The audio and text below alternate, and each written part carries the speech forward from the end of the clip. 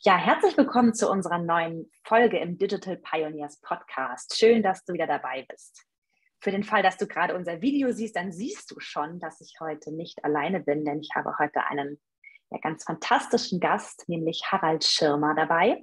Über Harald sage ich, sage ich gleich nochmal was. Wir werden heute über ein sehr spannendes Thema sprechen, nämlich über hybride Arbeit. Und Harald ja, ist ein sehr erfahrener hybrider Arbeiter, sagt man das so? Hm, darüber können wir gleich nochmal diskutieren. Aber ganz kurz, wer ist eigentlich Harald?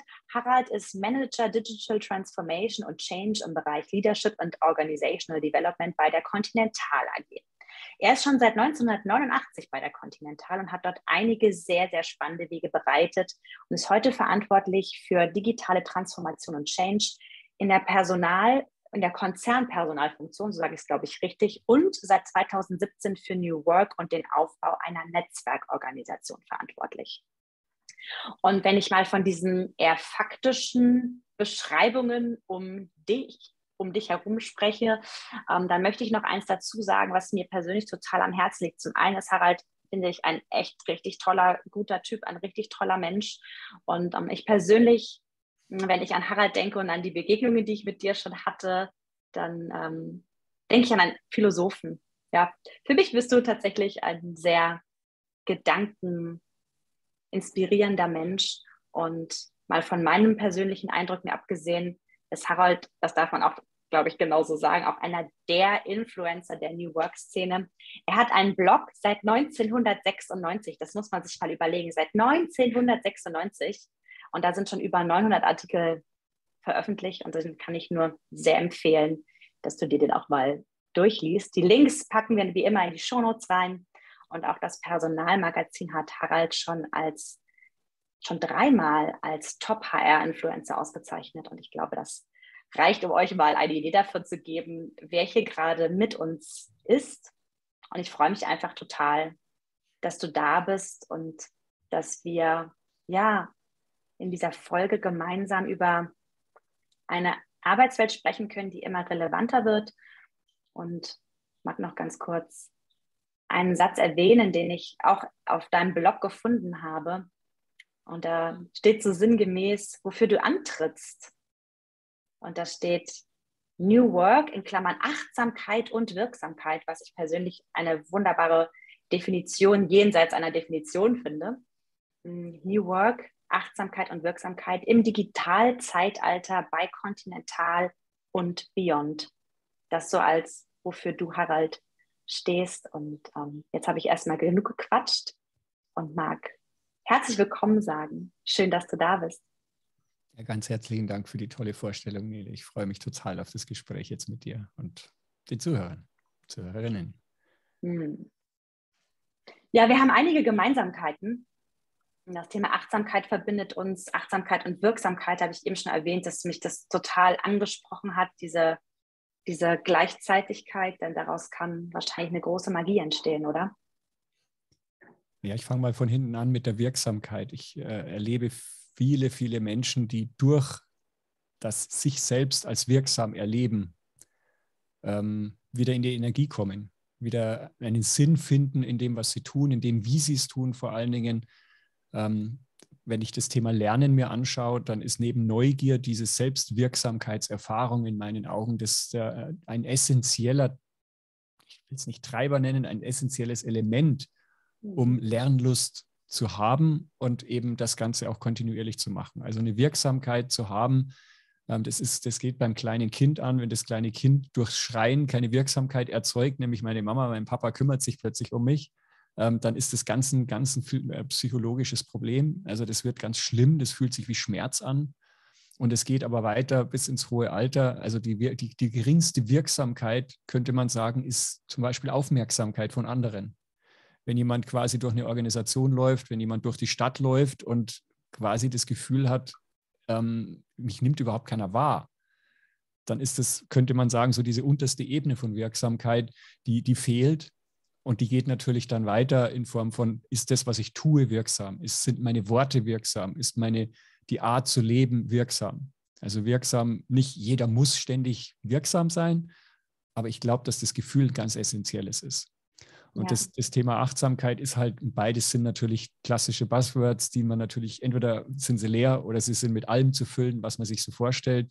Darum ist es sehr, sehr schwierig, heute mit diesen ganzen Worten überhaupt zu arbeiten. Darum versuche ich, die mit vielen Worten und Beispielen eigentlich mal anzufüllen, was ich darunter verstehe. Mhm. Äh, und dieses Thema Achtsamkeit, äh, da gibt es unzählige Bücher darüber, riesige Trends und alles Mögliche. Man kann es aber auch ganz klein machen. Und man könnte sagen, Achtsamkeit fängt mit Aufmerksamkeit an. Also erstmal zu schauen, wo bin ich gerade, wie fühle ich mich gerade, wer sitzt oder steht mir gegenüber, ähm, schmeckt es gerade, riecht es gerade gut. Ähm, also eigentlich ist, könnte man für mich oder für mich ist diese Achtsamkeitsbewegung eigentlich ganz stark mal weg aus der Vergangenheit, mal weg aus der Zukunft und in dem Hier und Jetzt, wie es der, äh, der Lukas so schön immer sagt, Lukas Fitterer, im Hier und Jetzt wirklich erleben. Ja. Und dann kommt, das möchte ich noch dazu nehmen, weil das gerade jetzt mit dem ganzen Ukraine und Corona und was wir alles haben, ganz, ganz viele Leute, habe ich das Gefühl, die haben Angst. Und Angst kann man in der Regel oder meistens hat man vor Dingen Angst, die man nicht einschätzen kann, die in der Vergangenheit liegen als Ursache, die in der Zukunft liegen als Erwartungshaltung, als negative Erwartungshaltung, als Befürchtung. Und wer heute Angst hat, dem kann man eigentlich nur Achtsamkeit empfehlen, weil im Hier und Jetzt, also wenn ich jetzt einfach wahrnehme, was gerade um mich passiert, wie ich mich fühle, ist das Gefühl von Angst relativ schwer zu entwickeln, weil es ist alles da, es ist alles ja. sichtbar, ich kann es riechen, ich kann es fühlen, ich kann auch weggehen. Das heißt, Achtsamkeit ist, glaube ich, gerade in der heutigen Zeit ein ganz wichtiger Punkt, um aus den Ängsten rauszukommen, im Hier und Jetzt hm. zu sein. Hm. Und für diejenigen, die jetzt gerade zuhören, sagen, nee, Angst habe ich nicht. Das ist auch ein starkes Wort, ne, wo vielleicht sich auch einige das gar nicht eingestehen wollen. Und das kann ich auch verstehen, denn Angst ist sehr, sehr kraftvoll. Vielleicht auch, wenn eine Unsicherheit da ist oder wenn du mit einer Unbegreiflichkeit gerade zu tun hast. Ähm, auch da ist so ein, wenn wir Fragen haben über die Welt, über die Wirtschaft, über die Gesellschaft, über die Politik, und da haben wir sicherlich gerade einige Fragen in uns, aus den Fragen kurz auszusteigen, denn die Fragen, die sind nur hier und äh, ich, ich tippe gerade so auf meinen Kopf für die, die zuhören, ähm, die sind im Kopf und in diesen Moment zu kommen, in diesen gegenwärtigen Moment, denn jetzt gerade, jetzt gerade in diesem Moment hörst du gerade diesen Podcast. Und während du diesen Podcast hörst, wer weiß, vielleicht bist du spazieren, vielleicht bist du im Auto, vielleicht schneidest du gerade eine Karotte für das Abendbrot. Hm. Jetzt gerade ist alles gut ja, gleichzeitig gibt es Katastrophen da draußen, aber jetzt gerade bei dir in deinem Leben, in diesem Moment mit diesem Podcast, ist alles gut. Und das reduziert es dann so stark. Ne? Hm. Also ich hätte es auch ungern nur auf das Thema Angst natürlich äh, fokussiert. Es ist super, dass du das so, so größer noch machst und ich würde das auch gerne verstärken wollen in die positive Richtung. In dem Moment, wo ich ein Essen wirklich esse, und nur das Essen esse, genieße ich es auch ganz anders. Dann schmecke ich plötzlich alle möglichen mhm. Facetten raus. Wenn ich, äh, da kann ich auch ein Beispiel nennen, das hatte ich beim letzten Mal so als, äh, in einem Podcast so eher am Schluss auch formuliert, weil das für mich so eine starke Message war. In dem letzten großen Projekt, was wir hatten, ähm, hatte ich am Anfang erzählt, was ich alles machen will. Also unserem damaligen oder unserem heutigen CIO natürlich auch noch. Und er hat mich so ein bisschen angeschaut und hat gesagt, ah, oder Herr Schirmer, seien Sie doch nicht naiv, Sie können die Welt nicht verändern.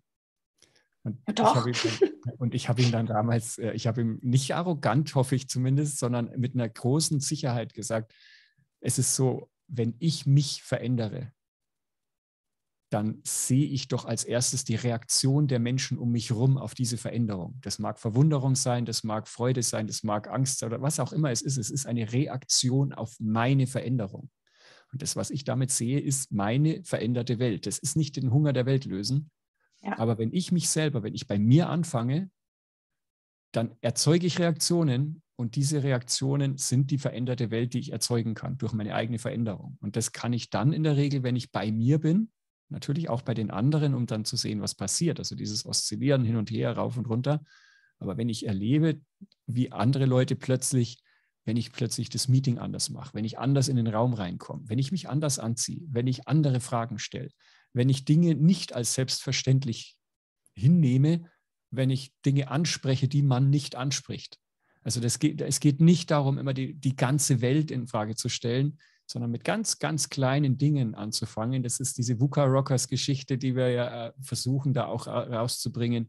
Keine Angst zu haben vor all dem, was da draußen ist, sondern die Sachen einfach mal anzusprechen oder mal wirklich so ganz kleine Dinge anders zu machen. Meine Frau hat mir vor mhm. vielen, vielen Jahren mal so ein Bild gemalt und da stand drauf, wenn du die Welt neu entdecken willst, musst du ab und zu deine Perspektive wechseln. Mhm. Das kann sein, ich gehe einfach mal anders ins Büro, ins Homeoffice rein oder ich tue mal Dinge, die ich nicht immer schon tue. Und ich werde neue Sachen leben, äh, erleben. Und das, wenn ich das Ganze halt mit einer gewissen Achtsamkeit mache und dann sich entwickelt, naja, da kann ich ja gestalten. In dem Moment, wo ich merke, ich kann Dinge ja anders tun, bin ich ja schon im Gestaltungsmodus. Und das ist dann das, wo ich dann wieder Wirksamkeit erzeugen kann. Ich kriege gerade fast ein bisschen Gänsehaut, denn ich höre dir so zu und denke an den, an den Digital Pioneer Begriff. Hm. Ja? Und wir sehen ja in diesem Podcast Pionierinnen und Pioniere als nicht als Menschen, die das Rad neu erfinden, weil vielleicht brauchen wir gerade gar kein Rad, sondern was ganz anderes, sondern wo es auch so um neue Herangehensweisen geht, um mutige Wege, um neue Perspektiven. Deshalb passt es gerade so. Ähm, und mag das einfach direkt gleich nutzen, Harald. Siehst du dich selbst als Digital Pioneer? Du, ich, ich muss dazu sagen, bevor Harald jetzt antwortet, ich nehme ihn als einen sehr bescheidenen Menschen wahr und ich habe mich fast nicht getraut, diese Frage zu stellen, ähm, aber ich gebe sie zurück zu dir. Nee, ich glaube, ich bin nicht so bescheiden, wie ich es ganz gerne wäre. Da ah. muss ich auch ah. ganz ehrlich sein. Ähm, aber ich habe natürlich euren Podcast gehört, wo du mit Robert genau dieses Thema besprochen hast und dass es eben bei Digital Pioneer eben nicht darum geht, dass du äh, der, der Serial Entrepreneur bist, der äh, ein Ding nach dem anderen rockt sozusagen. Also in, du musst mindestens in der Liga von einem Branson sein oder von einem Steve Jobs, dann kannst du dich so nennen. Äh, da würde ich natürlich sofort sagen, nee, also äh, wirklich nicht. Ähm, aber mit dem, was ich gerade auch gesagt habe, dass kleinste Veränderungen, anders zuhören, jemanden zu ermutigen, etwas zu tun, was er sich vielleicht selber nicht traut, es mit ihm oder mit ihr gemeinsam zu machen. Ähm, oder dann eben vielleicht auch größere Dinge zu sagen, so ich traue mich mal zu widersprechen, ich traue mich mal den Elefanten im Raum anzusprechen, ich traue mich mal nicht um Erlaubnis zu fragen. Ähm, das sind für mich eben in dem, in dem Kontext, den, den ihr da in dem, äh, in dem letzten Podcast mit Robert zusammen besprochen habt, da würde ich sagen, ja, also dann bin ich definitiv ein Pionier. Ähm, aber eben nicht der Kolumbus, der komplett neue Welten entdeckt, sondern eigentlich eher diese, der sie, und so sehe ich mich auch, das, das könnte man jetzt mit, würde ich jetzt mit dem Begriff Demut auch bezeichnen.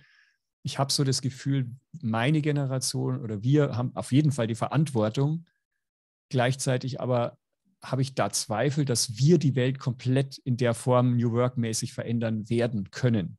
Gleichzeitig haben wir aber die mindeste Verantwortung, dafür zu sorgen, über diese Welt, die da möglich wäre, in einer so lauten Stimme zu sprechen und alles, was irgendwie möglich ist, dafür zu tun, dass die nächste Generation oder die nächsten Generationen, muss man inzwischen in meinem Alter sagen, auch, dass die uns vielleicht nicht als Vorbilder sieht. Dafür sind wir, glaube ich, nicht gut genug.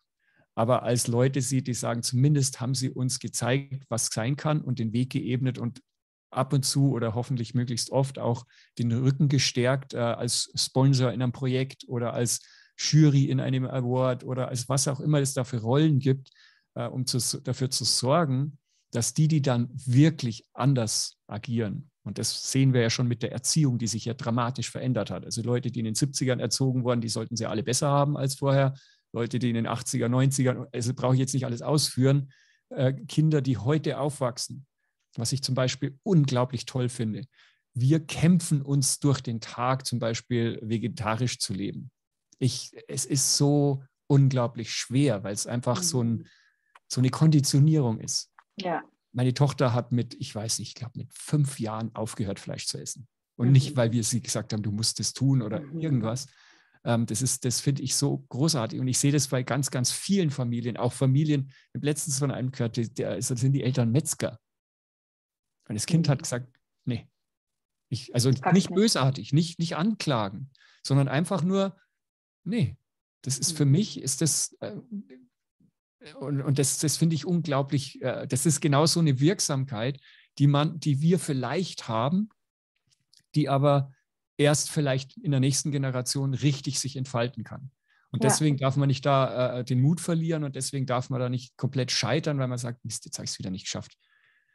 Wurstsalat war einfach zu verlockend oder was weiß ich. Also äh, dann hat man es halt wieder nicht geschafft. Aber man hat es bewusst sozusagen nicht geschafft und man hat es vielleicht ja. sogar thematisiert. Und das ist bei, bei New Work und bei all diesen Themen genauso. Das sind so viele Dinge konditioniert, die Art, wie wir Karriere machen, die Art, wie wir äh, uns bewerben, die Art, wie wir, äh, wie es eigentlich nur nach oben gehen kann, die Art, wie wir mit dem entsprechenden Geld umgehen, das wir bekommen oder eben auch nicht bekommen, mit dem, was äh, wir Jobs ausstatten, um sie attraktiv zu machen, um angeblich die besten Talents dafür zu bekommen. All diese ganzen Dinge, die wir da tun, sind ja Jahrzehnte alt. Und die jetzt wirklich grundlegend zu ändern, und das ist eigentlich unsere Aufgabe. Neue Karrierewege, die auch mal seitlich, auch mal rückwärts, ohne dass sie negativ sind. Äh, Karrieremodelle, die an Lebensphasen entlang sind. Ähm, das Thema Vollzeit mal in Frage zu stellen und sagen, hey, wir sind in den letzten 30 Jahren so effizient geworden, aber die Effizienz wird verbrannt dadurch, dass wenn du effizienter wirst, kriegst du nur noch mehr Arbeit. Und die wird mhm. irgendwann qualitativ nicht mehr gut und sie wird irgendwann die Leute in eine, äh, ja, man nennt es heute Burnout oder sowas, da bin ich immer ein bisschen vorsichtig, aber sie wird sie in, in Ermüdung bringen. Ja. Und das ist, äh, da muss man sich die Konzepte nochmal ganz anschauen und sagen, okay, was wollen wir denn wirklich, wirklich, wie der Friedhof Bergmann es so schön sagt. Und das darf man gerne auch nicht nur auf was will ich, sondern was möchte denn eine Organisation? Mhm. Was möchten wir denn in der Gesellschaft? Was möchten wir denn politisch, sozial und so weiter? Was ist denn das, was wir wirklich wollen? Nicht nur das, mhm. was halt gerade irgendwie politisch korrekt wäre oder das, was gerade hip ist oder das, was, was man sich vielleicht halt sagen traut. Mhm. Ja, und da nehme ich dich schon sehr stark als Pionier wahr. Und jetzt hast du gerade Kolumbus ähm, benannt. Vielleicht bist du ein Kolumbus der modernen Arbeitswelt. Denn diese Schritte zu gehen, ja, wahrscheinlich werden wir, das werden wir wahrscheinlich nicht schaffen, nicht die ganze Arbeitswelt komplett umzudrehen. Aber diese Verantwortung, die nämlich bei dir schon sehr stark war, weil ich dich so im Innen und Außen auch kennengelernt habe, darüber zu sprechen, über die eigenen Erfahrungen zu sprechen. Und ähm, du hast ja zum Beispiel deine Arbeitszeit gerade reduziert, ne? auf, ich glaube, 60 Prozent. Und auch, auch das, und darüber hast du sehr öffentlich auch ähm, ähm, gepostet, geschrieben. Und wie ich dich kenne, wirst du wahrscheinlich auch bald deine Erfahrungen dazu teilen, wie es dir jetzt so in den ersten Wochen, Monaten damit geht.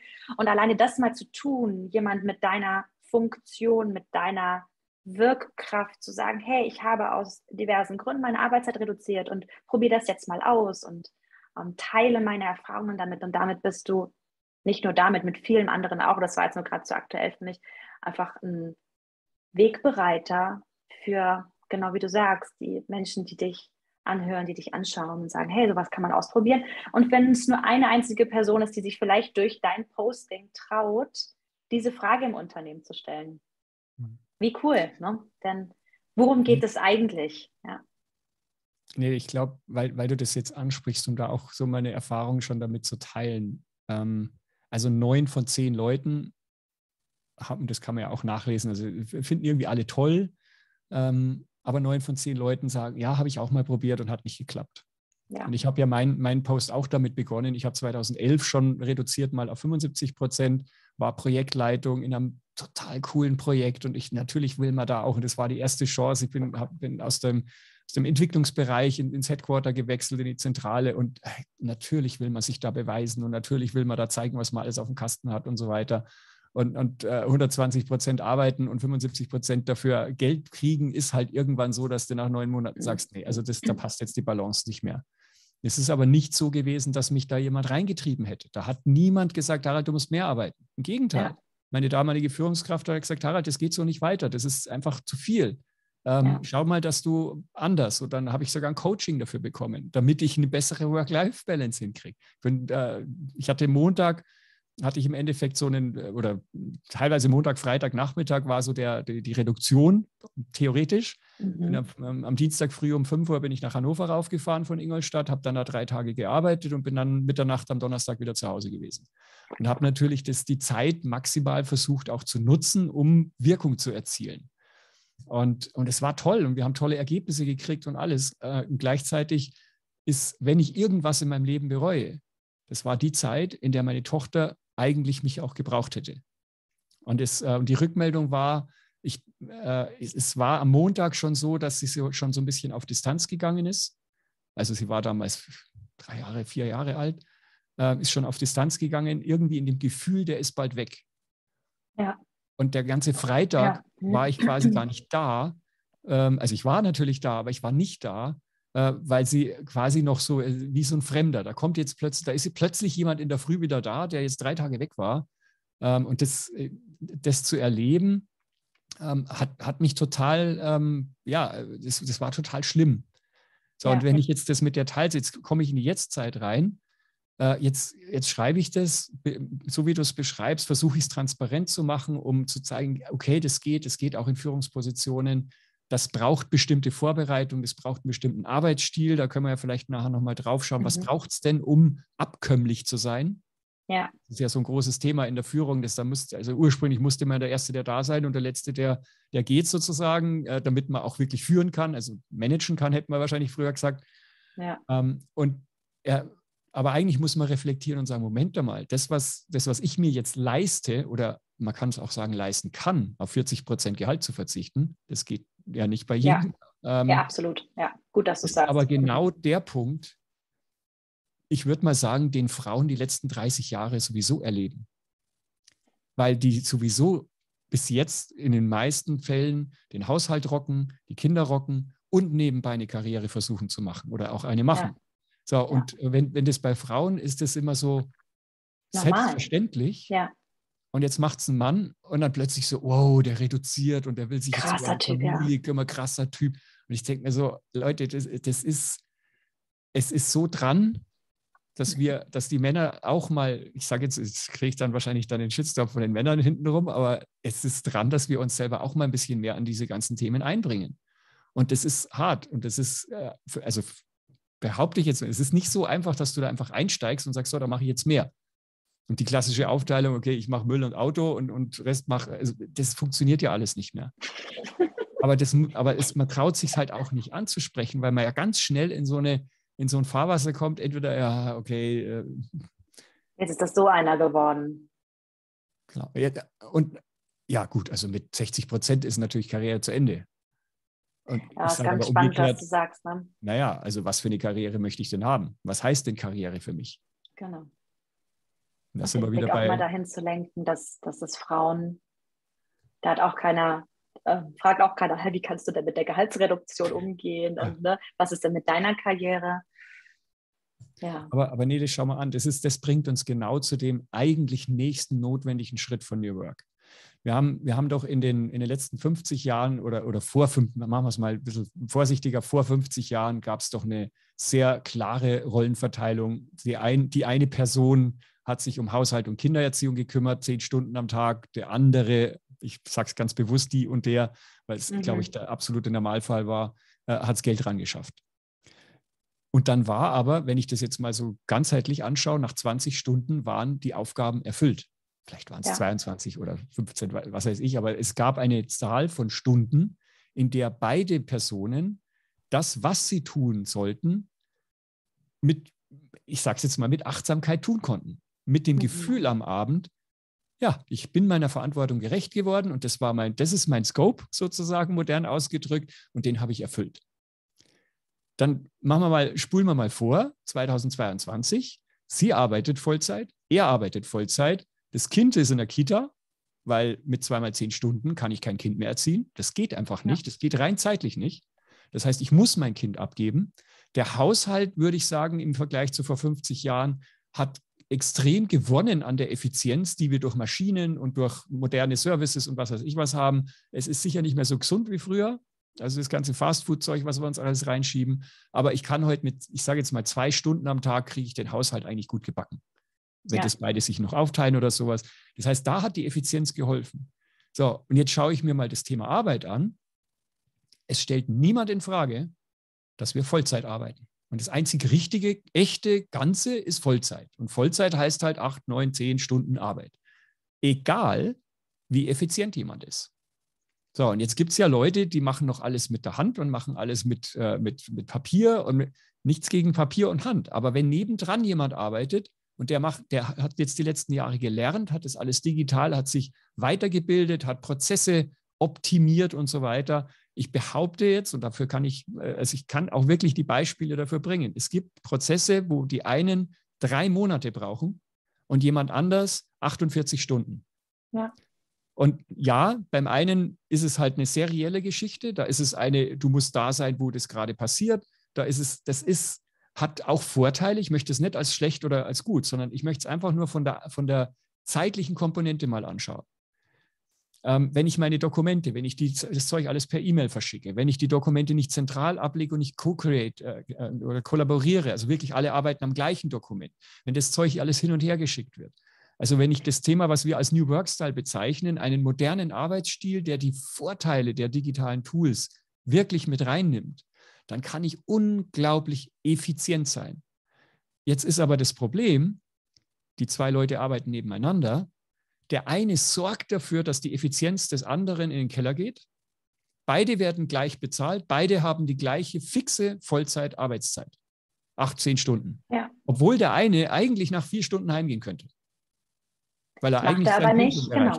Macht er aber genau. nicht. Ja. Also genau. kommt immer mehr Arbeit drauf. Und das ist jetzt ja. die Spirale, in der man logischerweise bei ständigem Wachstum drin ist. Ich werde immer effizienter. Durch die Effizienz habe ich Zeit gespart sozusagen und die wird sofort doch noch mehr und noch schneller aufgefressen. So, und dann habe ich das Ergebnis und das würde ich behaupten, wir haben jetzt die Studien für New Work, wir haben über 70 Studien ausgewertet, wie es denn so ist mit Homeoffice und all diesen ganzen Dingen. Das meiste ist da eigentlich relativ positiv in Form von, wir können flexibler arbeiten, all das geht. Aber was sehr deutlich auch wird, ist, ich nenne es jetzt mal die Volksenergie, die gesellschaftliche Energie, die geht richtig rund nach unten. Ja. Und weil das es mental so anstrengend ist, weil wir uns genau. mental die Pausen nicht gönnen und dieses Tempo. Und diejenigen, die äh, mich schon ein bisschen kennen, wissen, ich liebe Tempo und ich mag auch Effizienz total gerne. Und gleichzeitig ist es mental so anstrengend. Und nur weil etwas schnell geht und effizient geht, bedeutet es weder, dass es gut ist, hm noch dass es uns dient im Sinne der Gesundheit. Mit Gesundheit meine ich jetzt nicht das Gegenteil von Krankheit, sondern ähm, auch so eine gesellschaftliche Gesundheit im Sinne von Achtsamkeit.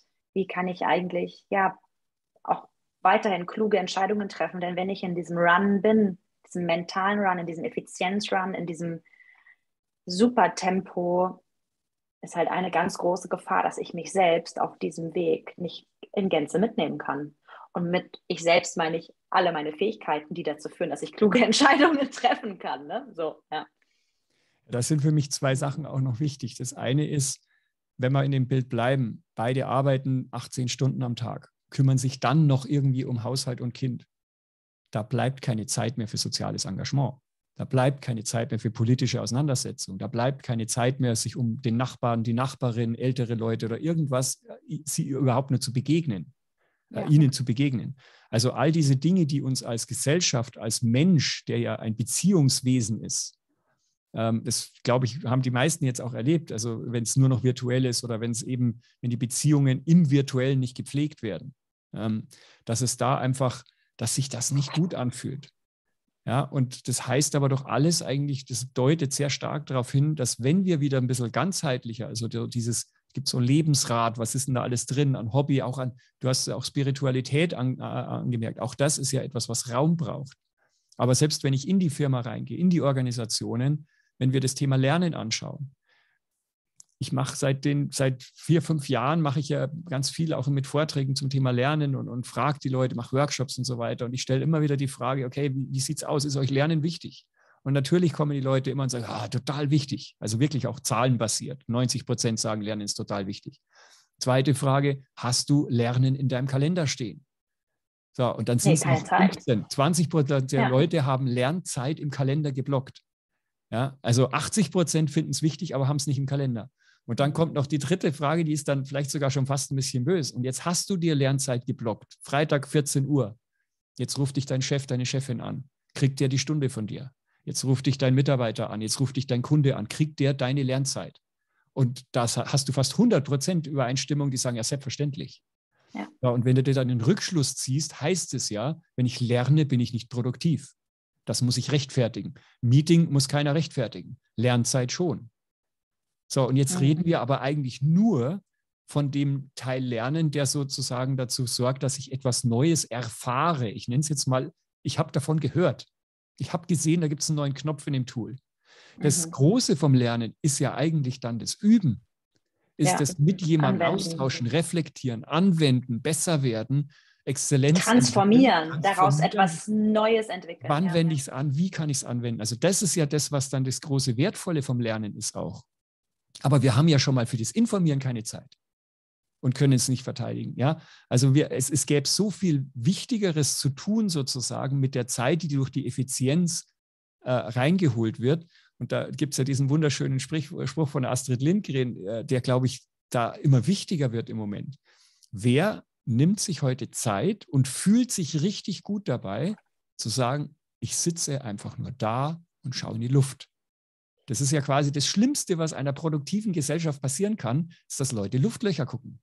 Aber ich behaupte, jeder, der das schon mal gemacht hat, hat danach einen Kreativitätsboost äh, erlebt, ja. hat danach gemerkt, Moment, da kamen ganz andere Gedanken. Da kam plötzlich ein ganzheitlicheres Bild, da kamen plötzlich Dinge hoch, an die, da, da komme ich nicht drauf, wenn ich in diesem ständigen, oberflächlichen Rennen bin. Da komme ich nicht in die Tiefe. Also ich brauche eigentlich auch diese Ruhephase, ich brauche auch einen Moment oder vielleicht sogar längere Momente, wo man runterfährt. Und vielleicht darf ich sogar irgendwann so weit kommen und den Müßiggang als Selbstzweck zu sehen. Denn wenn ich dir zuhöre, höre ich eine Erklärung, warum es wichtig ist. Und übrigens, äh, ich erkläre mir das selber. Ne? Also wenn ich mir solche Zeiten nehme, dann erkläre ich mir auch, warum ich das jetzt darf. Also bitte nicht falsch verstehen. Und wenn wir irgendwann dahin kämen zu sagen, ich gucke einfach gerade ein Loch in die Luft, einfach nur, weil ich ein Loch in die Luft gucken will und nicht, weil dann etwas besser ist, weil ich dann kreativ sein kann, sondern einfach nur mal, um ein Loch in die Luft zu gucken, ne? ohne mir das erklären zu müssen. Und äh, ich fasse gerade aber meine eigene Nase. Ähm, ich habe ähm, einmal kurz für die Zuhörerinnen und Zuhörer, als Harald und ich gerade äh, gesprochen haben, bevor wir auf Aufnehmen gedrückt haben, habe ich gerade so eine Geschichte erzählt, dass ich letztes Wochenende mich dazu entschieden habe, obwohl unglaublich viel zu tun ist bei uns am Haus und tausend mögliche Sachen und Steuer. Ich habe mich bewusst dazu entschieden, drei Stunden auf dem Balkon mit einem Buch zu liegen und einfach rumzuliegen. Und auch da musste ich mir das erklären, warum das jetzt wichtig ist, das zu tun. Und wie schön wäre es, wenn wir irgendwann dahin kämen, dass wir das einfach wieder machen können. Und ich sage bewusst wieder, denn das gab es sicherlich schon mal, diese Zeit. Und vielleicht muss das jetzt auch in den Kalender rein, wie die Lernzeit, zu sagen, hey, ich habe hier Lernzeit und ich habe ähm, bei Walking Out Loud wird das auch immer wieder so, dieses trag dir Zeit in deinen Kalender ein, wo du nur mit dir bist, wo du einfach mal bist. Ne? Ja, da kann ich auch lernen, da kann ich natürlich auch, aber dieses ist jetzt vielleicht gerade mal Müßiggang dran und ein Loch in die Luft zu gucken. Einfach nur des Lochs in der Luft wegen und nicht damit irgendwas zu erreichen. Das fände ich jetzt irgendwie auch schön. Nee, da sind wir jetzt aber genau wieder bei dem Punkt, den ich ganz am Anfang mit den Generationen äh, angesprochen habe.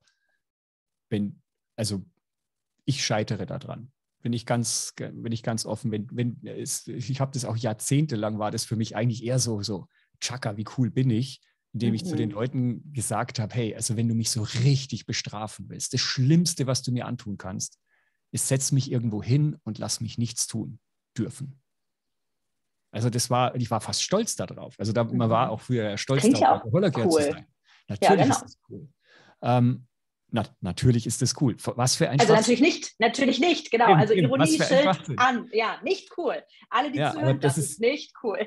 Genau, und, und jetzt aber zu sehen, dass du schaffst es schon eher dir drei, also für mich sind ja drei Stunden nichts tun, also das sind wirklich, das ist, ich hatte früher gesagt Folter, heute ist es so, dass ich versuche, und dann sitze ich da und während ich schon mich, während ich mich gerade hinsetze, sehe ich schon, oh, da müsste es noch Rasen mähen und hier ist noch was kaputt und da und die Steuerwehr noch. Und äh, es ist, also man muss dann wirklich meditieren, sozusagen, damit man diese, dieses Gedanken Gedankenkarussell, was man denn jetzt eigentlich alles Wertvolles mit dieser Zeit anfangen müsste, sollte, könnte, ähm, dass man das runterfährt.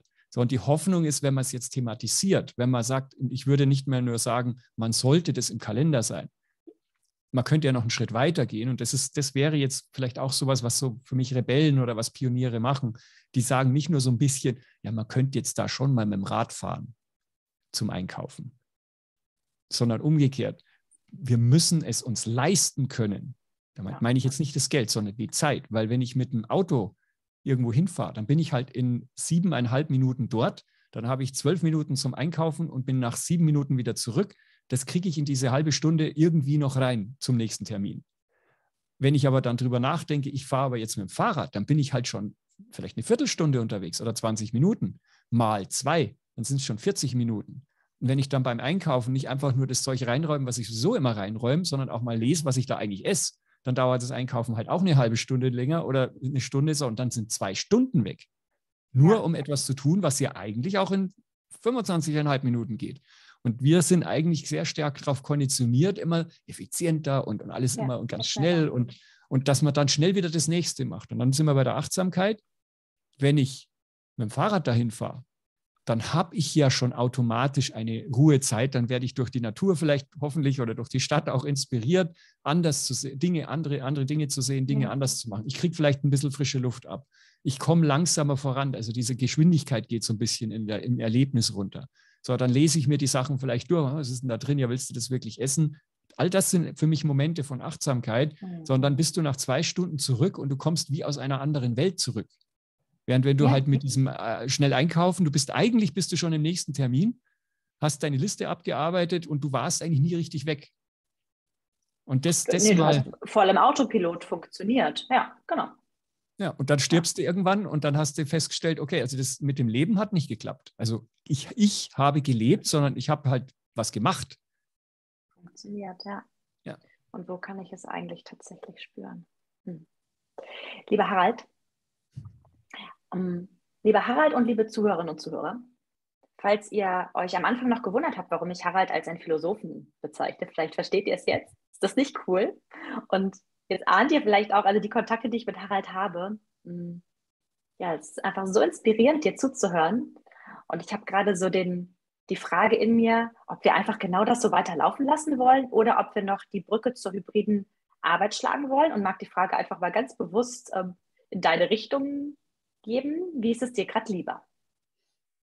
mit beiden fein. Ich habe aber schon, äh, das ist so ein bisschen ja die, die Mission, auf der wir beide ja auch unterwegs sind. Ich glaube, es sind da noch so viele Fragen und auch vielleicht ein bisschen korrigierfähige Erwartungshaltungen da, dass es vielleicht schon auch sinnvoll wäre, das, das eigentliche Thema da auch ein bisschen zu, zu, zu vertiefen. Ja, dann lass uns doch, lass uns einfach hinübergehen. Mhm. Und ihr werdet merken, wie nah diese Themen beieinander sind. Das hat so viel miteinander also, zu tun. Ja. Ähm, genau, das ist ähm, ja bei all dem, was du gerade gesagt hast, äh, war bei mir immer so ein, oh, und jetzt gerade auch noch die hybride Arbeitswelt, die verstärkt das, die ermöglicht das, die verschlimmert das. Also das äh, passt alles wunderbar. Dann versuche ich einen Brückenschlag. Ich habe dich angesprochen auf diese Folge, weil ich einen LinkedIn-Artikel, das stimmt gar nicht, einen, einen Blogartikel von dir las hm, wie gesagt, also alle Links packen wir hier in die Show Notes rein oder ihr geht auf www.harald-schirmer.de, da könnt ihr euch auch ähm, mal umschauen, kann ich wie gesagt sehr empfehlen. Hm, und dieser Podcast, da ging es um hybrides Arbeiten und Alternativen. Und so die einleitende Frage, und die hat mich direkt gecatcht, war, hybrides, hybrides Arbeiten funktioniert nicht oder vielleicht doch.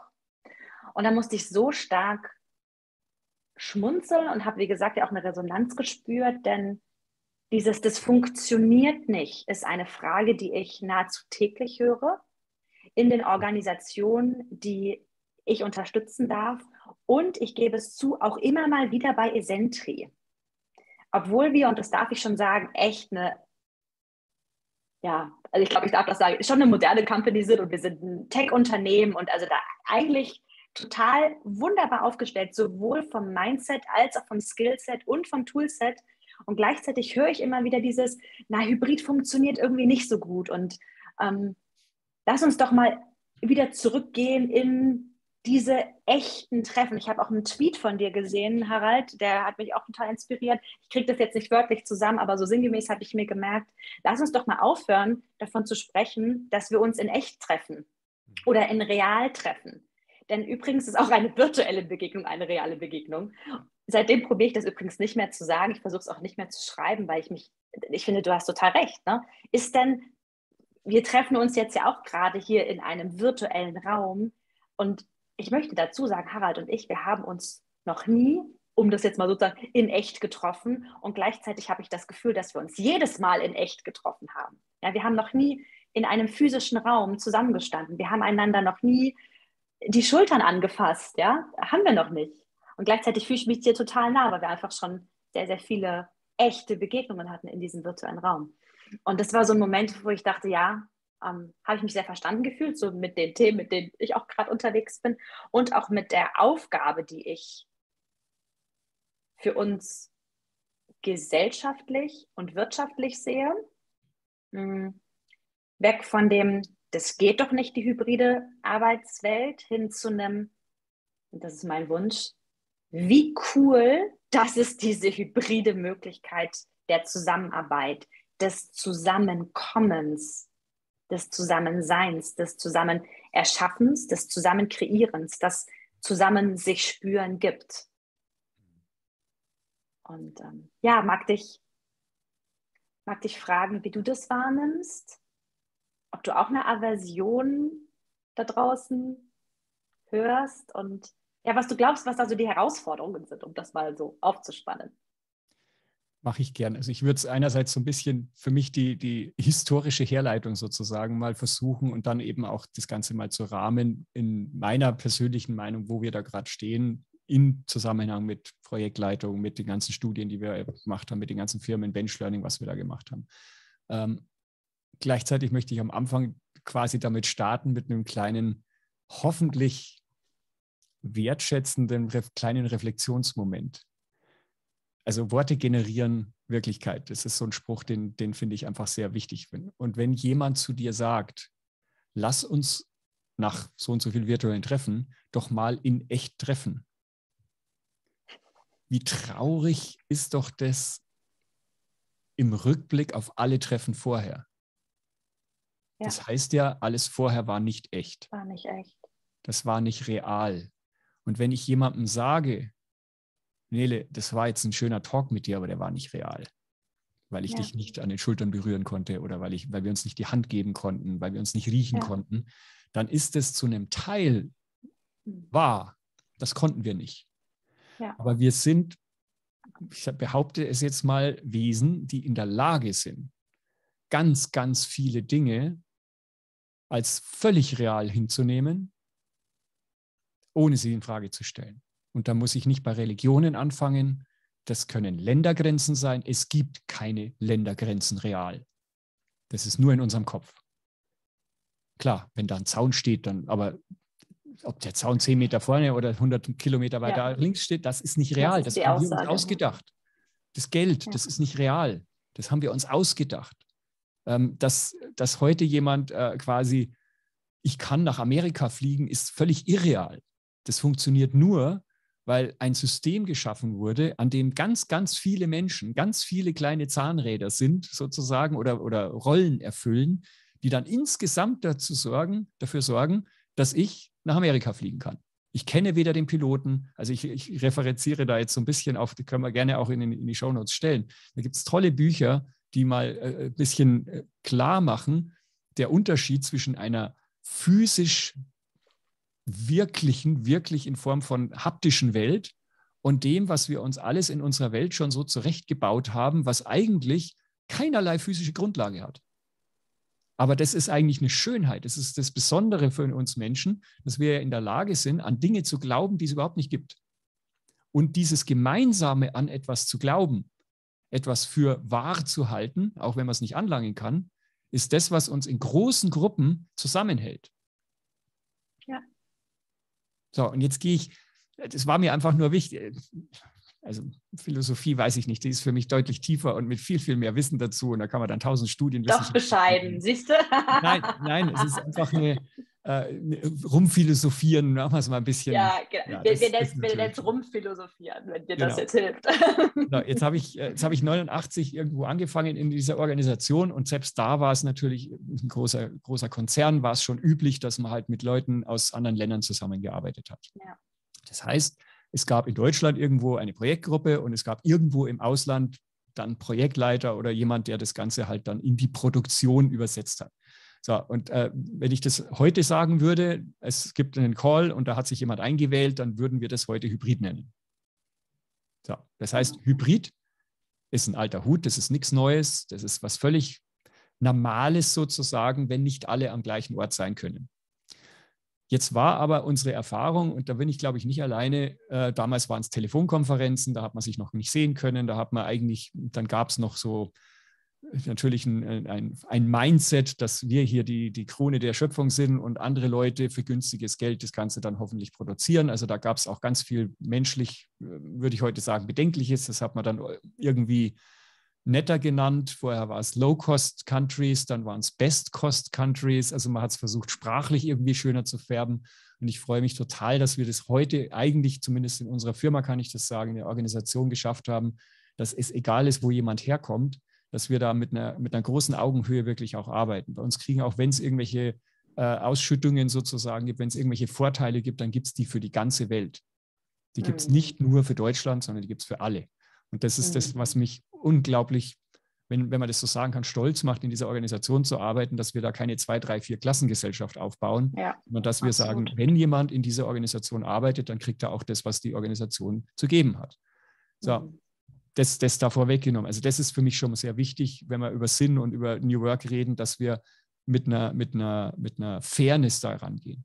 So, und jetzt kam Corona und vielleicht auch noch dazu das ganze Thema Homeoffice. Also ich habe seit über 20 Jahren Homeoffice, ähm, also in Teilen. Ähm, ich ich habe seit vier Jahren eigentlich kein Büro mehr, ähm, also auch lang vor Corona. Ich, hab, ich arbeite nur von zu Hause oder mobil. Ähm, und es war vor Corona, war es immer eine Diskussion. Es war mhm. immer das Thema Vertrauen. Also es gibt mhm. da kaum eine Studie, man kann da gerne mal googeln und mal alte Berichte, alte Studien rausziehen, die kamen immer zu dem gleichen Ergebnis, nämlich Nummer eins, wer zu Hause arbeitet, arbeitet in der Regel mehr.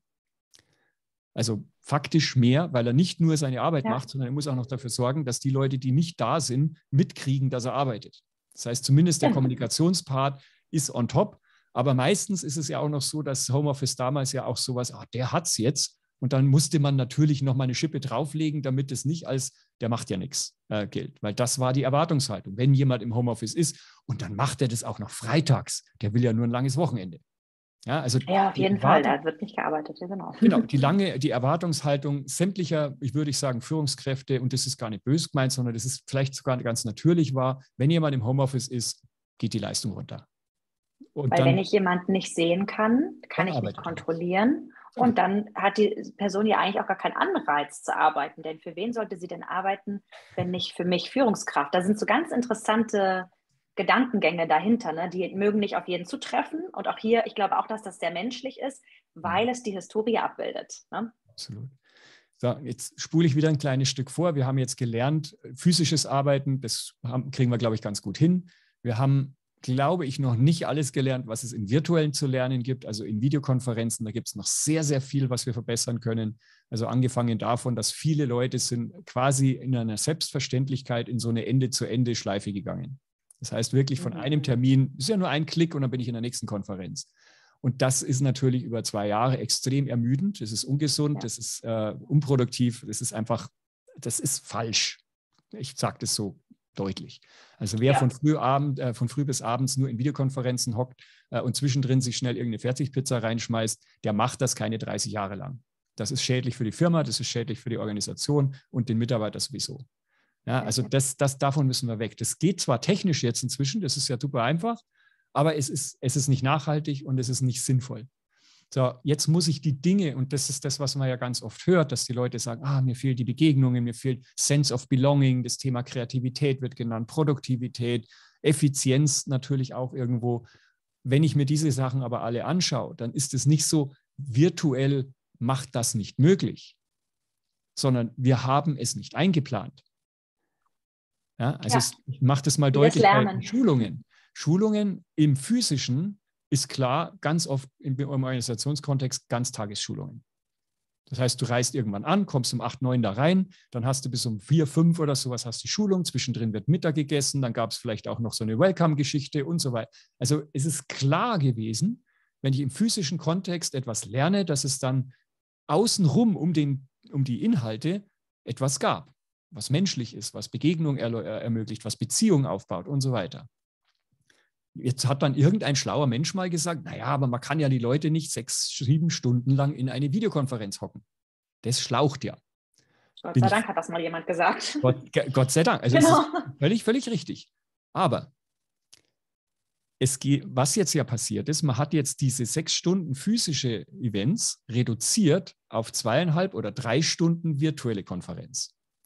Und vor und nach der virtuellen Konferenz hocken die Leute in Videokonferenzen. Ja. Und in diesen drei Stunden passiert nichts mehr, was mit Begegnung zu tun hat, sondern da wird quasi nur noch Stoff vermittelt.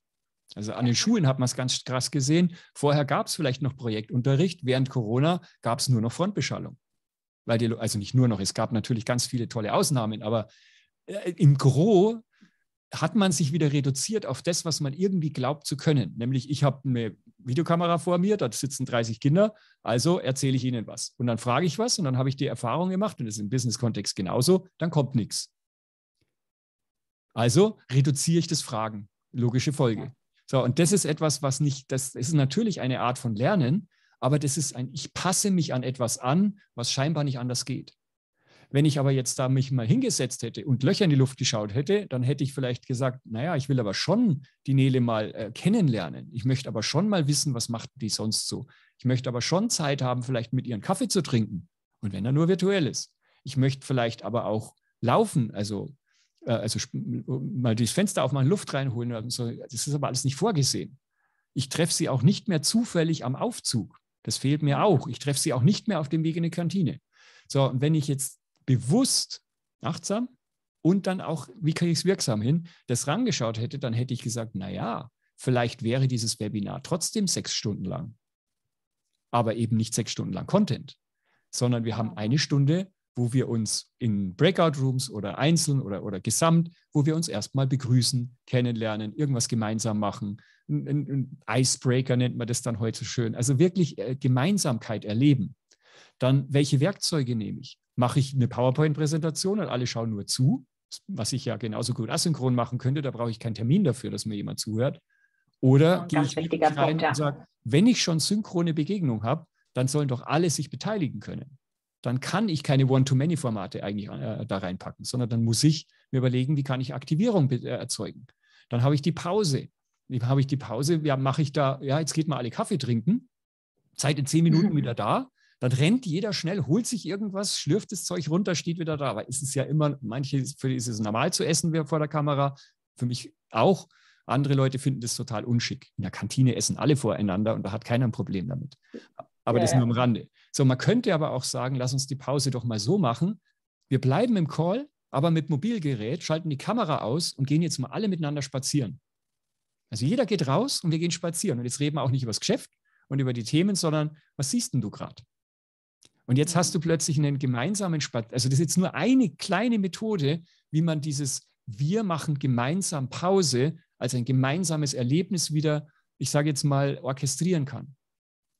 Und so geht es mit all diesen Dingen. Und wenn ich dann mal mir ein physisches gutes Meeting, Treffen, Workshop, wie auch immer, Webinar äh, oder, oder nicht Webinar, da ist es ja dann ein, ein Klassenzimmertraining. Wenn ich mir das anschaue, was sind denn die Phasen und Elemente da drin und die bewusst wieder in die digitale Welt übertrage, ja, dann dauern die wieder genauso lang.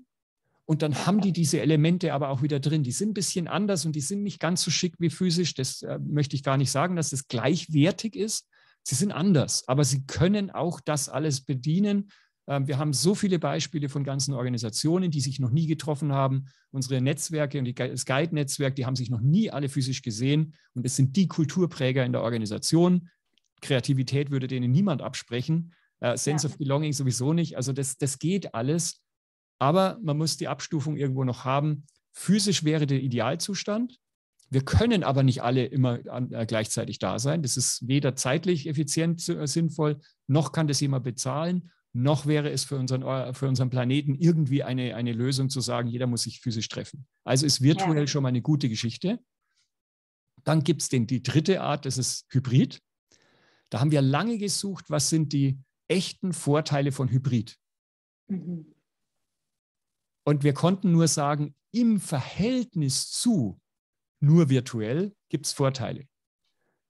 im Verhältnis zu physisch gibt es Vorteile. Aber, aber Hybrid selber, wir, wir, also ich habe bis heute noch nichts gefunden, wo ich sagen würde, für virtuell würde ich rein virtuell, würde ich jetzt das andere stehen lassen. Ähm, warum? Natürlich, und das war früher auch anders, früher gab es, wenn, wenn virtuell war, gab es viele Organisationen, die gesagt haben, wenn, äh, wenn zwei Leute vor Ort sind oder fünf Leute vor Ort, damit es gut läuft, sollen alle virtuell sein. Dann haben alle die gleichen ja. Voraussetzungen. Kenne ich ja. noch, das waren äh, selbst die ganz großen Organisationen haben das gesagt. Ähm, Finde ich nicht richtig, weil selbst wenn nur fünf Leute sich physisch treffen können, äh, ist das eine Verbesserung. Aber dieses, Virtu dieses Hybride hat dann zur Folge, dass ich nichts mehr rein physisches für alle machen kann. Das heißt, ich muss dann wirklich für Augenhöhe sorgen, ich muss für Beteiligung sorgen. Der Beamer in meinen Augen kommt weg, auch die großen Bildschirme kommen weg. Jeder hat die Kamera an, auch im Hybrid, also gerade im hybriden Meeting. Jeder hat einen guten Ton, weil das haben wir ja gelernt bei virtuell im Vergleich zu Hybrid vorher. Plötzlich sitzen alle in der ersten Reihe. Plötzlich kann jeder ja, ja. weder also physisch oder eben virtuell die Hand heben. Plötzlich kann jeder gleichzeitig oder, oder nacheinander Feedback geben über Kommentarfunktionen oder über Whiteboards und so weiter und sich beteiligen. Also es gibt für Hybrid, finde ich, viel schwieriger als virtuell und als, als physisch. So, und um es noch vorzuspielen, also die, die, ja. drei, die drei Arten, das sind die heute bekannten, würde ich mal sagen, für die meisten Firmen. Und was im Moment komplettes Brachland ist, ist das Thema Virtual Reality wird ja, ja. gerade ein bisschen größer mit Meta, Metaverse und so weiter. Und da mag der eine oder andere von den Zuhörerinnen und Zuhörern jetzt sagen, oh Gott, das ist Zukunftszeug. Nee, das, das ist seit 15 Jahren das da. Ist surreal. Das, das ist surreal. so da. Das genau. ist so genau. da, das kann man gar nicht sagen. So, und was wäre da jetzt wieder der Vorteil? Warum würde ich jetzt noch eine Option anbieten? Naja, ich habe im virtuellen und im hybriden kaum eine Möglichkeit für echte Begegnung. Also selbst wenn ich diese ganzen Dinge einbaue, dann sitzen wir beide jetzt vor einer platten zweidimensionalen Videokamera. Also die Kamera ist 3D, aber wir sehen uns nur 2D. Wir sehen nur die Köpfe. Wir, wir haben keine, kaum Gestik, wir haben kaum Körperhaltung, die wir sehen können. Wir haben kein Raumempfinden. Wir können uns nicht zueinander positionieren. Ja, die Zufallsbegegnungen, die funktionieren nicht, weil du drückst auf den Knopf bis drin oder du drückst auf den Knopf bis draußen wenn ich das Ganze jetzt in Virtual Reality nehme und stellt euch jetzt mal so einen virtuellen Raum vor, und zwar nicht nur einen, sondern ein Gebäude, globales Headquarter von eurer Organisation.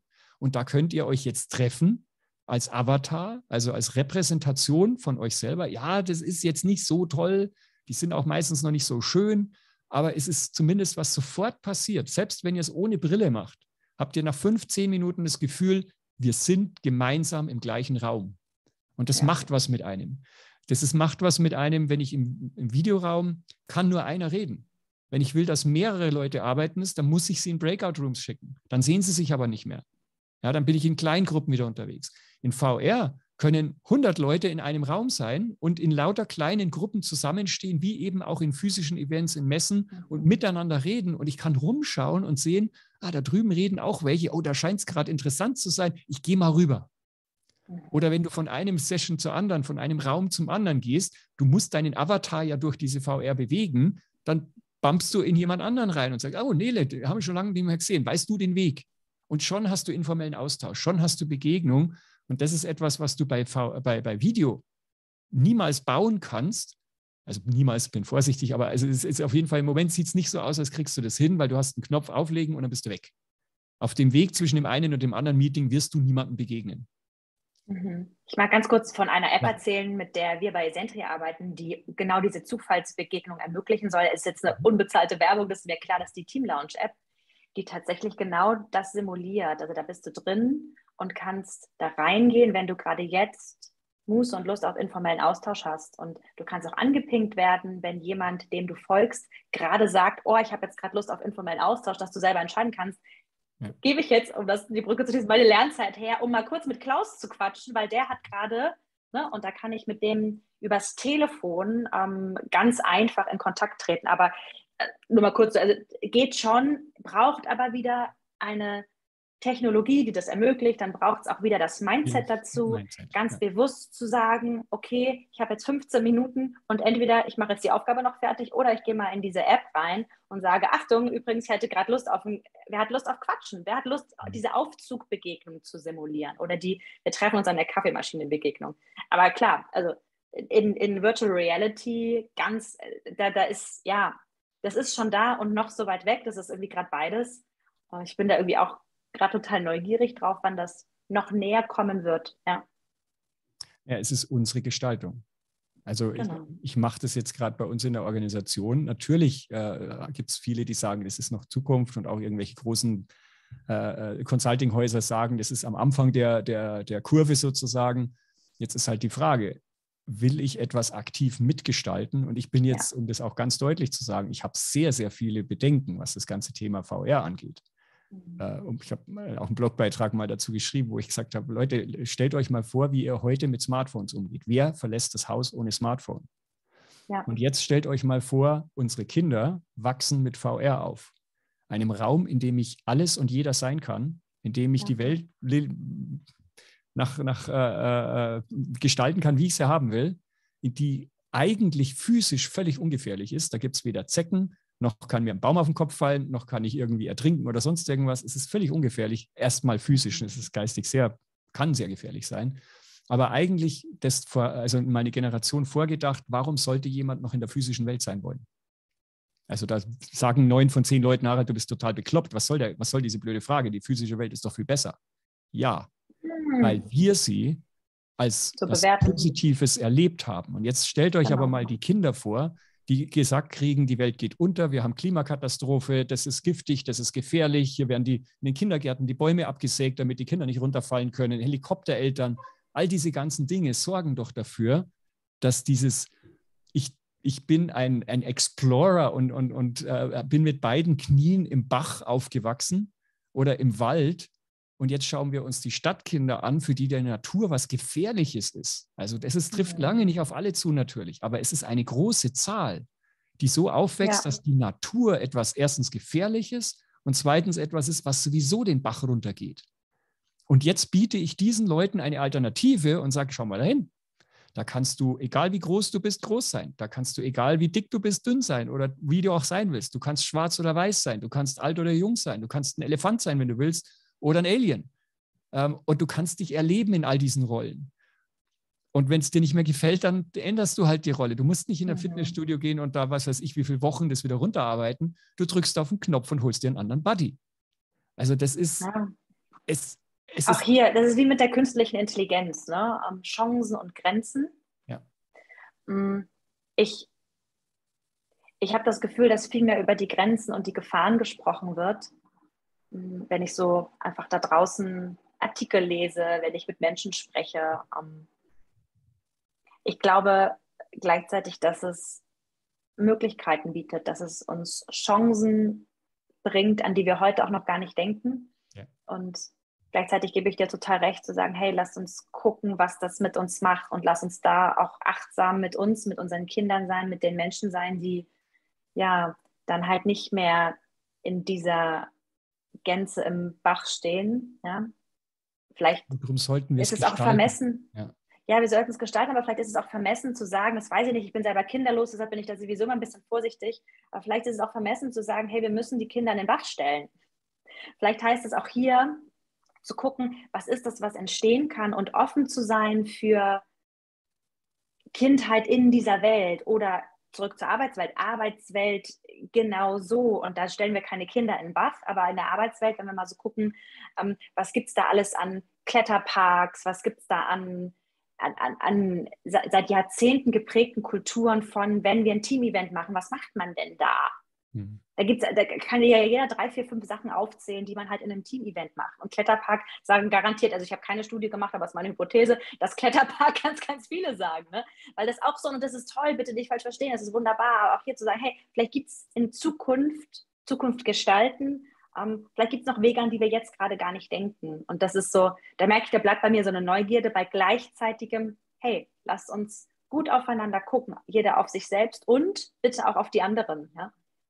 Daniel, das ist, der, das ist genau der Grund, warum ich versuche, da in Anführungszeichen das Ganze ein bisschen zu fördern, dass mehr Leute sich dafür interessieren, weil ich einfach die Erfahrung, nennen wir es mal, auch mit Social Media gemacht habe. Da gab es am Anfang ja die Wilden, die drin waren und dann gab es halt auch schnell Shitstorms und dann gab es halt auch das ganze Negative. Dann haben irgendwann die Politiker alle gesagt, sie gehen aus Twitter raus und so weiter.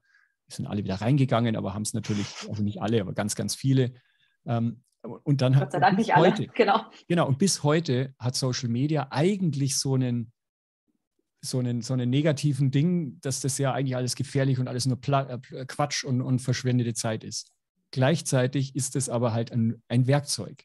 Und wenn ich mir jetzt das in der Organisation anschaue, Enterprise Social Network, also wo Leute bloggen können über das, was sie begeistert, wo Leute in Foren sich transparent austauschen können über Dinge, die, sie, die relevant für ihre Arbeit sind.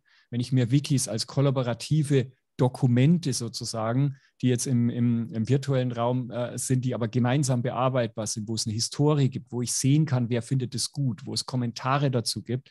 Ähm, all diese Dinge sorgen dafür, dass sich Leute finden können, die sich nie gefunden hätten ähm, Netzwerke in Form von Serendipity, also Zufallsbekanntschaften darüber, dass ich tagge mein Profil, du taggst dein Profil. Wir haben zufällig ein Match, was die gleichen Tags angeht und plötzlich, hey, die Nele sitzt in einem ganz anderen Land oder in einem ganz anderen Ort oder sowas, hätte ich nie getroffen. Aber über diesen Relevanzfilter, der uns zusammenbringt, haben wir plötzlich ein, ein cooles Projekt miteinander.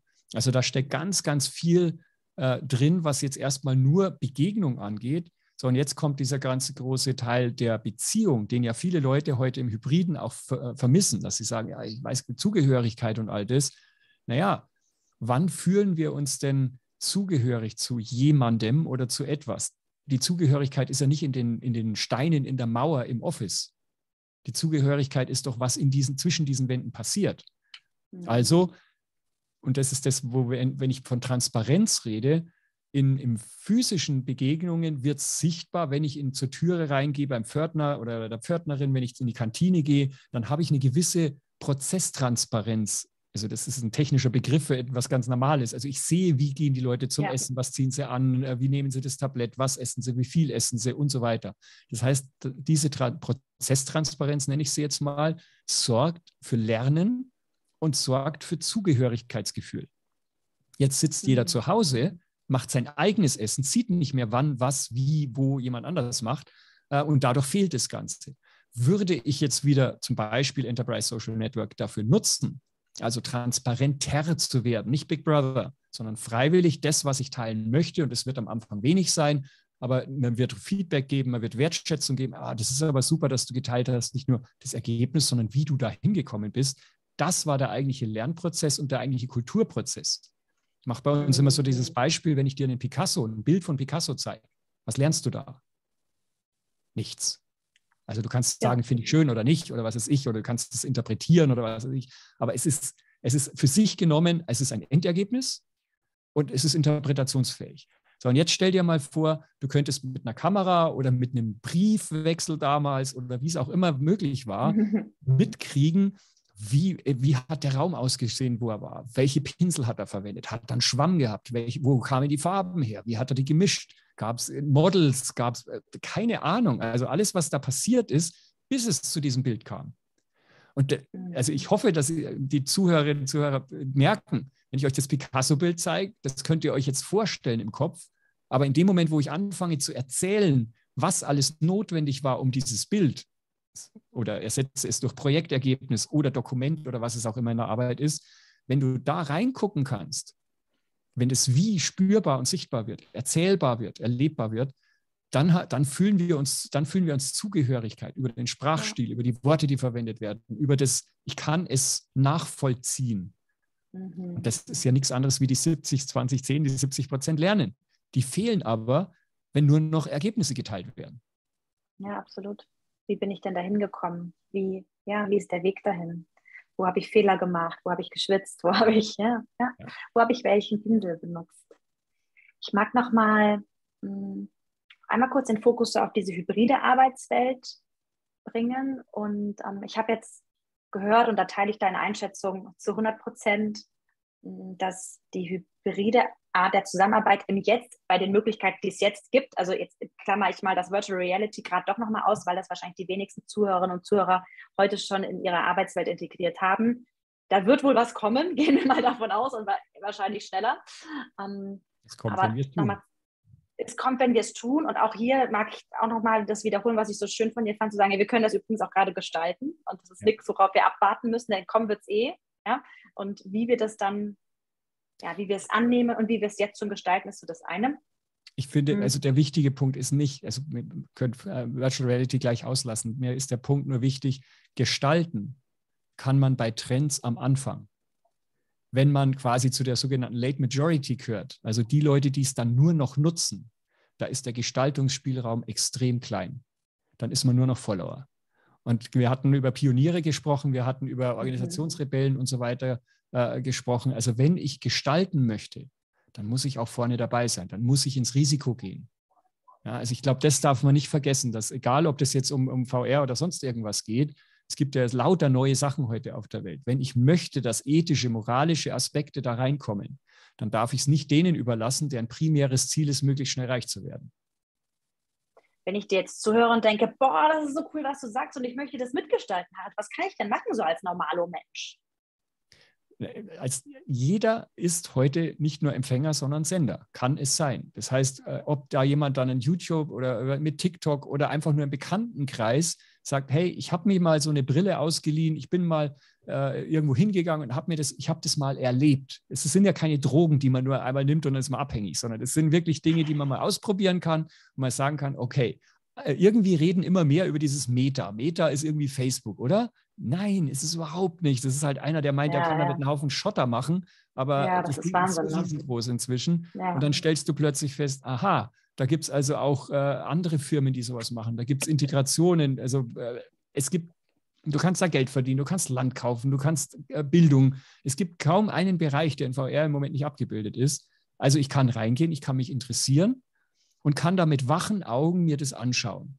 Und wenn ich das Ganze vielleicht irgendwie schaffe, jetzt bin ich wieder bei dir Prozesstransparenz, zu, zu erzählen, was ich da erleb, erlebe, dann helfe ich anderen Leuten, erstens ihre Vorurteile mal zu hinterfragen. Okay, der, der schreibt da gerade über was, das ist, passt in meine Vorurteile gar nicht rein.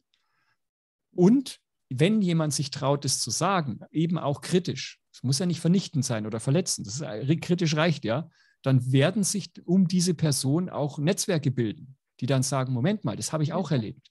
Und plötzlich mehr, lernen wir voneinander, ich bin nicht allein. Und das ist ja die mhm. Schönheit an der heutigen vernetzten Welt, dass, nicht, dass man nicht mehr darauf warten muss, dass irgendein großer Hero auf, um die Ecke kommt auf dem goldenen Pferd und dann die Sachen verändert, sondern wenn sich genügend Leute, egal in welchem Level, verbinden, bewusst werden, dass sie ein ähnliches Interesse haben, dann entwickeln die eine unglaubliche Macht vor der kann keiner mehr in irgendeiner Form weichen. Also man muss sie irgendwie äh, äh, zumindest wahrnehmen erstmal. Und wenn das dann halt wächst, und das ist halt die Power von Netzwerken, das ist das, was wir Movement nennen oder exponentielles Wachstum, äh, negative Form davon ist der Shitstorm natürlich, aber es gibt auch das Umgekehrte, dass plötzlich ganz viele Leute das Gefühl haben, das ist so dran und ich möchte, ja. dass das so wird. Und ob das jetzt ein ein kostenloses äh, äh, Ticket für irgendwie Nahverkehr ist oder ob das jetzt irgendeine Energiewende oder, oder die Umwelt oder egal was es ist. All diese Dinge haben ja dadurch Drive bekommen, dass Leute, die sich dafür engagieren, plötzlich voneinander gewusst haben und plötzlich dann gesagt haben, lass uns doch mal unsere Kraft verbinden, weil es gibt da draußen Millionen von Einzelinitiativen, die alle versuchen, unseren Planeten wieder also langfristig haltbar zu, zu machen. Mhm. Wenn sich die mal alle zusammensetzen würden, dann gibt es doch nichts, was die noch aufhalten könnte. Ja.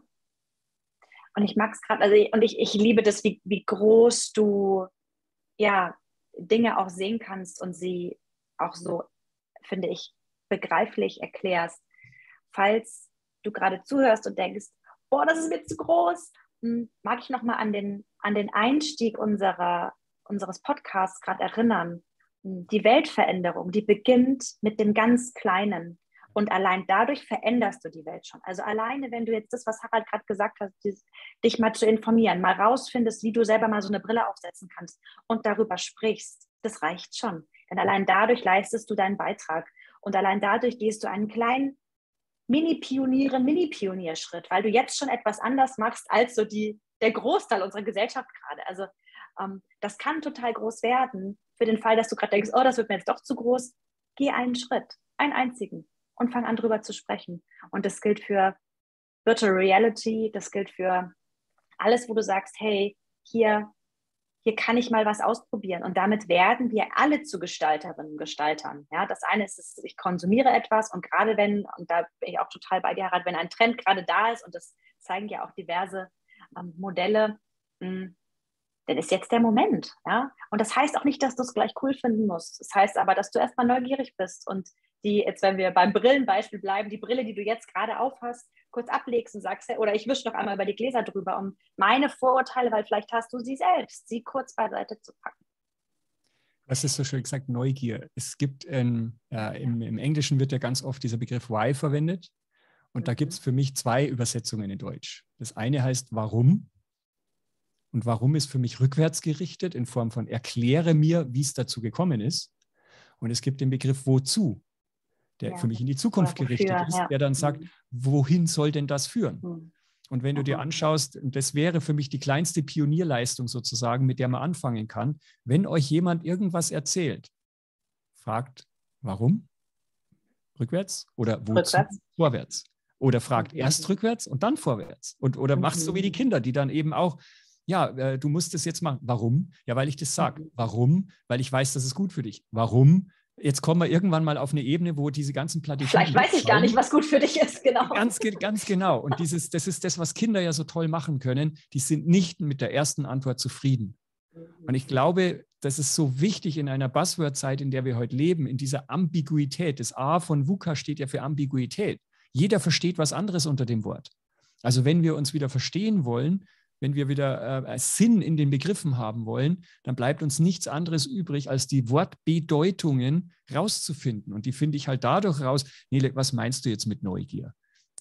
Äh, und was meinst du damit? Und, und wofür soll das gut sein? Und wieso machst du das überhaupt? Und jetzt, jetzt entsteht quasi so eine, eine, eine Wolke um diesen Begriff herum, der sich, die sich auflädt.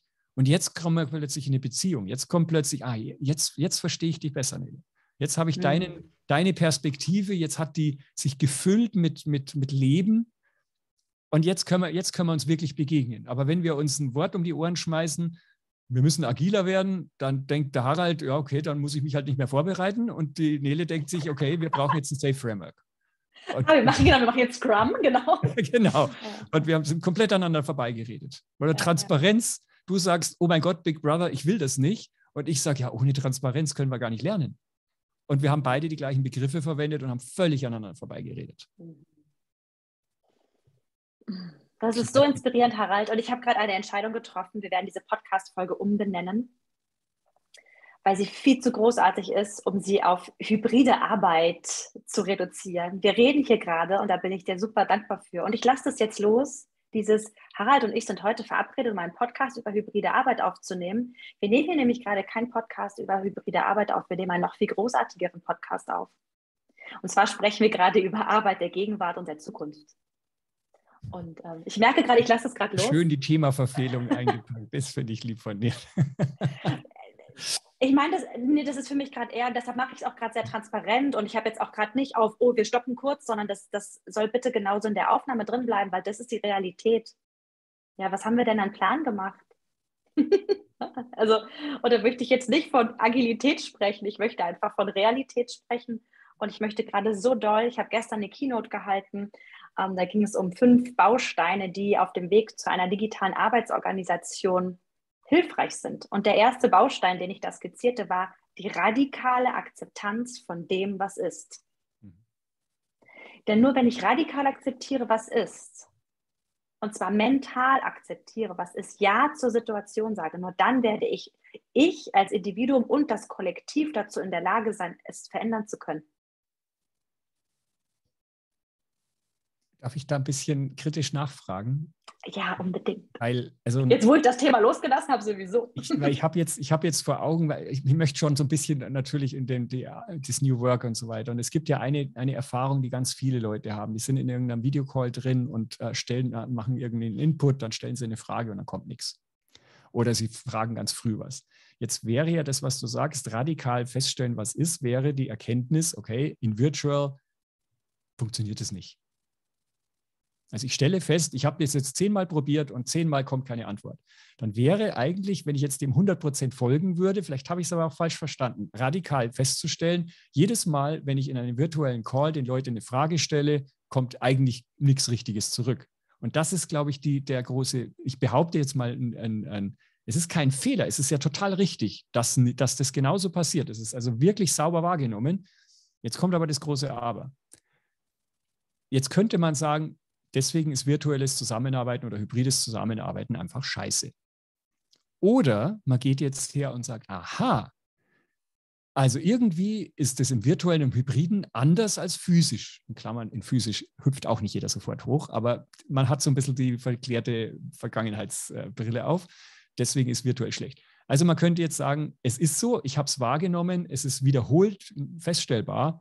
Und jetzt kommt aber der Punkt zu sagen, so, was muss ich jetzt ändern, damit das wieder anders wird? Also das, das wäre für mich ein völlig richtiger erster Schritt, aber unbedingt in Verbindung, und wahrscheinlich ist das in deinen anderen Bausteinen dann drin, dann zu sagen, so, wie kriege ich jetzt eine stille Zuhörerschaft in eine aktive Beteiligungsgruppe? Und wenn ich das jetzt bei, aus, aus praktischer Erfahrung würde ich sagen, ja, meistens ist es zu groß und passiert zu plötzlich. Da hält jemand einen Vortrag und ist plötzlich still mit einer Frage. Und die Leute dann so, oh, Jetzt muss ich was antworten. Aber es ja. sind zehn andere da. Ich will niemandem ins Wort fallen. Ja, nur, äh, funktioniert mein Mikrofon. Tausend Gründe, warum man jetzt nichts sagt. Wenn ich aber jetzt das Ganze mir anschaue, ja, ich habe festgestellt, das ist so. Jetzt fange ich an, die Leute erstmal auszubilden. Ganz platt. So, ich stelle jetzt nicht eine offene, große Frage, wo sich vielleicht jemand auch noch blamieren könnte, sondern ich sage, was ganz Kleines und, und ich mache vielleicht vorher ein sogenanntes Microlearning, machen wir bei uns gerne und sagen, so, jetzt geht mal bitte alle da nach oben oder nach unten, je nachdem, was ihr für, äh, für eine Software verwendet. Sucht mal bitte diesen Daumen nach oben und den drücken wir jetzt nicht, sondern schaut mal, das sind noch vier andere Symbole. Jetzt drücken wir mal alle den ganz rechten. Das ist meistens so ein bisschen negativerer. Und jetzt drück den mal drauf. Und dann siehst du plötzlich wieder lauter solche Dinger hochgehen oder, oder erscheinen. Jetzt haben die Leute was gemacht, ohne dafür in irgendeiner Form B oder verurteilt zu werden. Oder kannst es eigentlich gar nicht, sondern einfach nur einen Knopf gedrückt. Das heißt, wir haben jetzt die erste ganz kleine Hürde gemacht. Und dann sagen wir, okay, und jetzt im nächsten Schritt, sagen wir mal, also wenn ihr jetzt für mehr die eine Richtung seid, dann drückt ihr mal den Knopf. Und wenn ihr für die andere Richtung seid, drückt ihr den anderen Knopf.